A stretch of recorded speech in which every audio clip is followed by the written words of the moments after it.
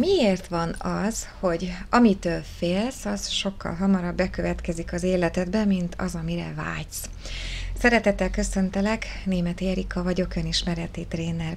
Készítettem már az energiák vonatkozásában hasonló témában egy videót. Most gyakorlatilag ugyanezt egy másik megközelítésben szeretném neked elmondani, mert nem lehet tudni, hogy az vagy ez a megközelítés segít neked nagyobb felismerésre jutni önmagaddal.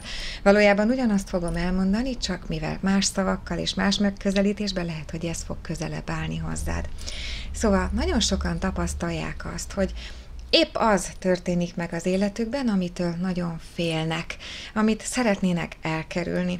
És nagyon sokan meg azt tapasztalják meg, hogy amit, amire meg nagyon vágynak, az meg nem érkezik meg. Mi lehet ennek az oka? Korábban ezt a másik megközelítésben az energiák oldalával, oldaláról közelítettem meg és magyaráztam el, most viszont a gondolataid útján fogom ezt levezetni neked. Tulajdonképpen kétféle ember van ennek a megközelítésnek a szempontjából. Az egyik típusú ember az, akinek a figyelme folyamatosan azon van, amit elérni szeretne. Őket én most célfókuszú embereknek fogom nevezni ebben a videóban. A célfókuszú ember úgy gondolkodik, hogy amire vágyik, arra koncentrál.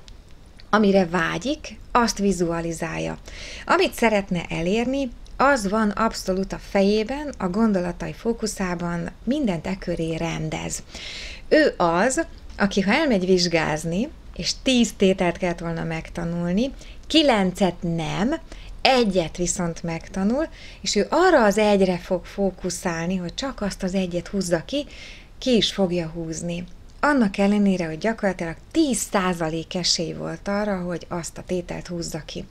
Azért sikerülhet ez neki, mert folyamatosan abban él, amit ő elérni szeretne, amit megszerezni szeretne, abban a célban létezik a figyelme és a tudatossága.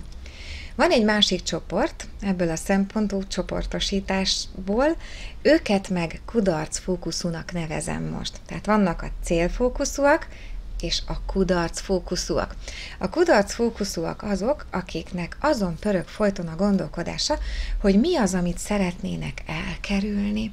Ők azok, akik ha tíz tételből áll egy vizsga, kilencet megtanulnak, biztosra menve, egyre már nincs energiájuk, és folyamatosan az az egy jár a fejükben, amit nem tanultak meg.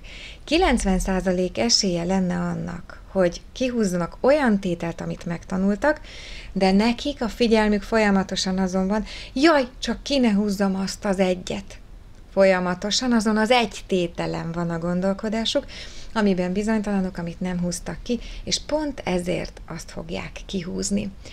Ők azok, akik véletlenül mindig pont abba futnak bele, amit szeretnének elkerülni. A kudarc kerülő ugyanis az azt jelenti, hogy folyamatosan az van a figyelme fókuszában, amit nem szeretne, amitől fél, amit el akar kerülni, ezért gyakorlatilag, ha a figyelme folyamatosan ezen van, akkor gyakorlatilag mindig abban él. Amit el akar kerülni, valójában abban él és úgy működnek, megint visszatérő egy picit az energiákra, de úgy működik az élet is, hogy a teremtő erődet az elmét gondolatai fókuszálják. Úgy képzeld el a saját energetikádat, a teremtő erődet, a motivációdat, a hajtóerődet, az életenergiádat, hogy van itt körülötted egy hatalmas energiagombóc, te magad ez az energiagombóc vagy, viszont a gondolataid, azok ezt az energiát fókuszálják és azt fogod meglátni a világból, amire te gondolsz.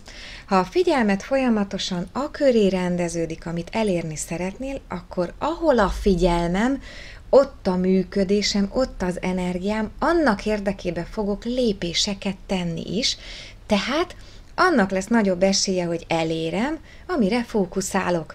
Ha tehát a céljaimra gondolok, akkor a tetteimet, a működésemet is ebbe fogom fókuszálni, ebbe az irányba fordítom tettekbe, tehát ezt fogom nagy valószínűséggel megvalósítani, teremteni. Ha megszabadulni szeretnék dolgoktól, ha a félelmeim vannak a gondolkodásom központjában, akkor a félelmeimre fókuszálva egyfajta védekezésre fogom az életemet és a tetteimet beállítani. Ha én folyamatosan védekezésben vagyok, akkor az azt jelenti, hogy egy folyamatos bizonytalanságot élek meg. A dolgok kicsúsznak a kezeim közül, mint ahogyan egy remegő embernek is kicsúsznak a kezei közül. Gyanakvóvá válok, örökké lesem azt, hogy hol érhet támadás, hol fog bekövetkezni az, amitől félek. Vagyis mindig azt fogom észrevenni, azt fogom megélni, mert erre vagyok kihegyezve, figyelemmel, mozdulatokkal és tettekkel is, amitől tartok. Tehát most nézd meg, hogy te vajon melyik csoportba tartozol. Célfókuszú vagy, vagy kudarc fókuszú vagy.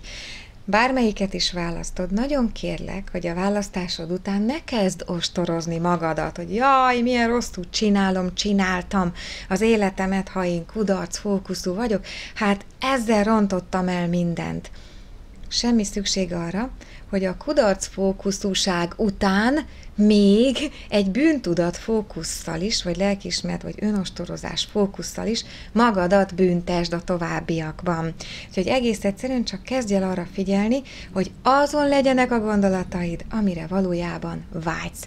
Minél előbb talált ki azt, hogy mire vágysz. Nem elég azzal tisztában lenni, hogy mit szeretnél elkerülni, hiszen ha mindig csak az van a fejedben, amit elkerülni akarsz, akkor a kudarc kerülő üzemmódba fogsz kerülni. Kezdj el mindig arra átállni, hogy arra gondolj, amit szeretnél, amire vágysz, és annak érdekében tevékenykedj. Ne abban higgy, hogy az megvalósul, hanem önmagadban higgy, ez nagyon fontos, abban higgy, hogy képes vagy arra, hogy elérd, hogy megteremtsd, mert az erő benned van, nem pedig abban a dologban, ami majd be fog következni. Remélem sikerült most is felismerésekre jutnod a segítségem által. Tarts velünk önismereti kurzusainkon is, szeretettel látunk Gáborral közösen. Kívánok sok sikert, jó egészséget, jó sok pénzt, szeretetet, szerelmet, boldog párkapcsolatot, és mindent, amit magadnak kívánnál még. Tarts velem máskor is!